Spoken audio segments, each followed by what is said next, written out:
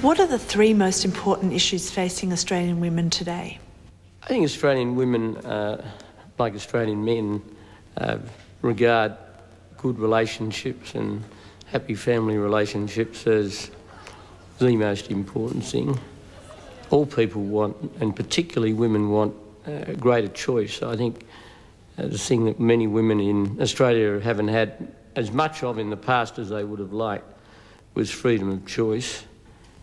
Safety is something that perhaps bulks a little more largely with women than men for a combination of reasons, but they're the things that I would think uh, resonate as the most important for women.